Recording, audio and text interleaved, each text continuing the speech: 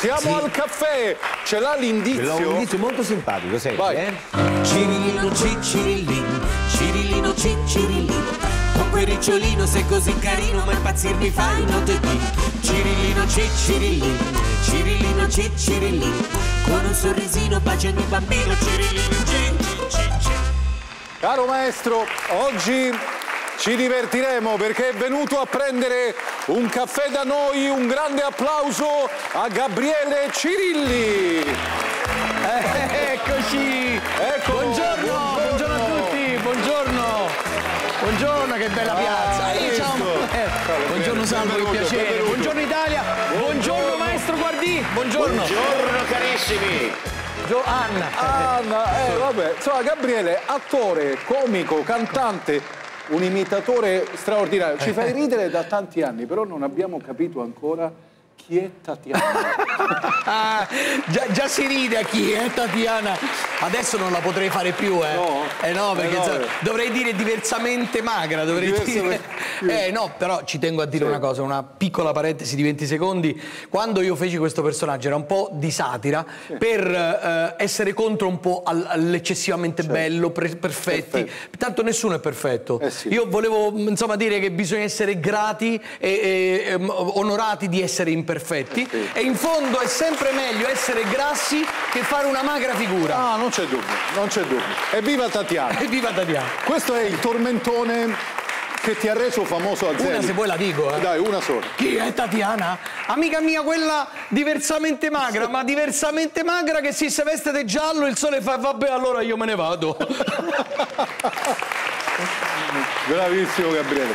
Il tormentone che ti ha reso famoso a Zeli, che dire che da bambino so che stavi per intraprendere la carriera del canto. È vero che già da Sai piccolo tutto. cantavi da tenore? Sì, allora è successo una cosa stranissima. Eh, sì, da, da quando avevo 7-8 anni, a Sulmona dove io sono nato, Sì. c'è un teatro stupendo dove ha debuttato- hanno debuttato le più grandi opere liriche e nonna, che era appassionata, nonna Concettina, mi portava a vedere queste opere. Andammo a vedere il Trovatore, Eh. non sto scherzando, tornammo a casa, mi misi davanti allo specchio eh, della camera di mia nonna, loro erano in cucina, di là e cominciai a cantare Di quella pira l'orrendo fuoco. Ma a sette anni già con sta voce, eh? Pazzesco. Tutte le fibre emergeva un po'. Bravissimo! Bravissimo! Di là, nonna, zio Duilio, devo pensare, oddio, ma che è entrato qualche ladro in casa che sentivano sta voce?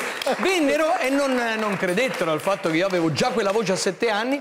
E Gigi Proietti, il mio maestro, mi disse, se- mi dice- mi disse, ma perché non fai il cantante Eh. lirico? Era troppo costoso all'epoca. È troppo costoso, però Era troppo costoso. Gigi, tu hai citato Gigi, ma in realtà hai intrapreso un'altra strada, hai frequentato la scuola eh, di Gigi Proiette Sì. che per tutti gli artisti di quella scuola ha aperto presto le porte del successo. Vediamo una delle prime apparizioni di Gabriele Cirilli in TV.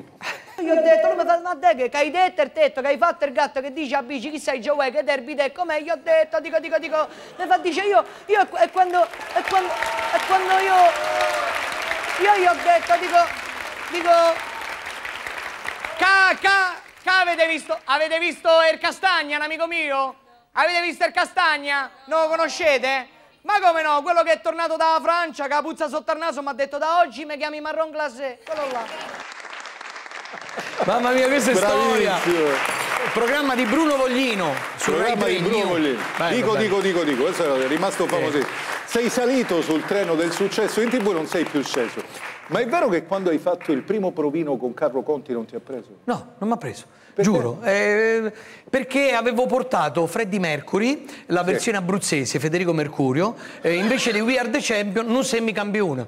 Non se mi campione, miei amici, non se mi campione, non ci piove. Se... Solo che Carlo mi disse, bellissimo, molto simpatico, ma non c'è una serialità. Quindi io non ti prendo, ma lo faccio per il tuo bene. Ah, eh. Cioè è come quando te lascia una ragazza e dici, ma lo faccio perché ti amo, ma non, non è così. Più così. Poi Ma dopo mi ha preso. Poi le cose sono andate diversamente perché con Carlo hai fatto tante puntate di tale e quale, devo dire con personaggi tanto straordinari quanto improbabili. Vediamo Angela dei ricchi e poveri. Angela dei ricchi e poveri.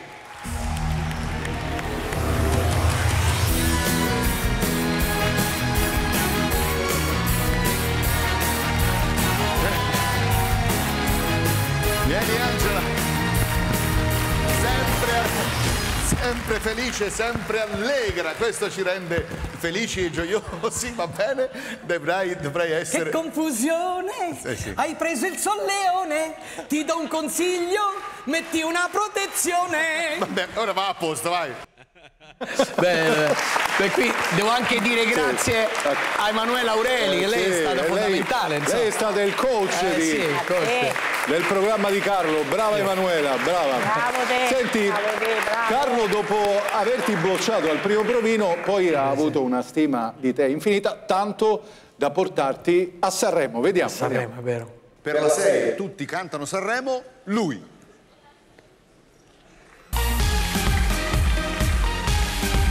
Evviva Carlo Conti!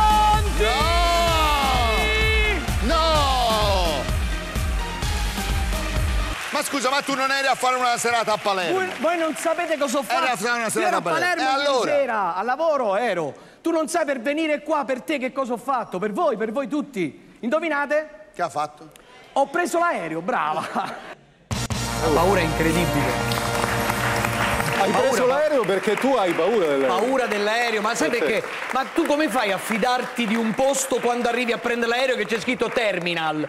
È già lì che Cioè, la fiducia, è già da lì che non è. Effettivamente. Senti Gabriele, nella tua carriera hai incontrato molte persone, eh, però c'è una donna alla quale devi molto che si chiama Maria. Eh, Maria. Chi è, chi è Maria? Chi è?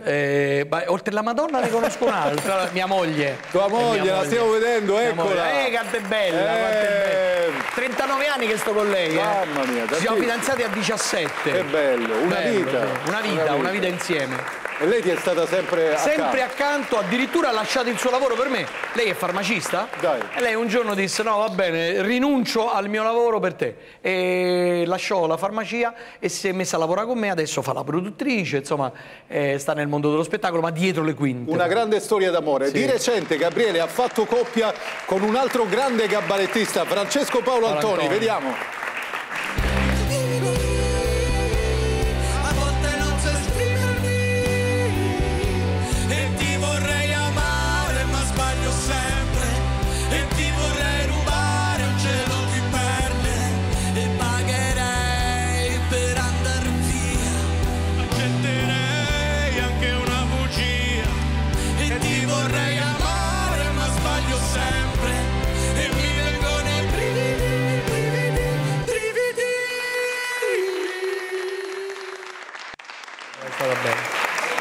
Quelle facce sono.